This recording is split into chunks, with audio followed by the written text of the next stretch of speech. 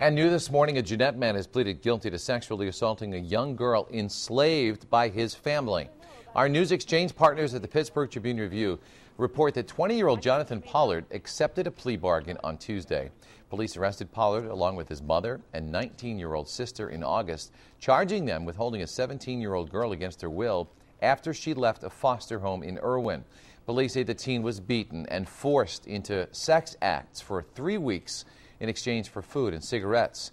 Jonathan Pollard will serve three to six years in prison. The ACLU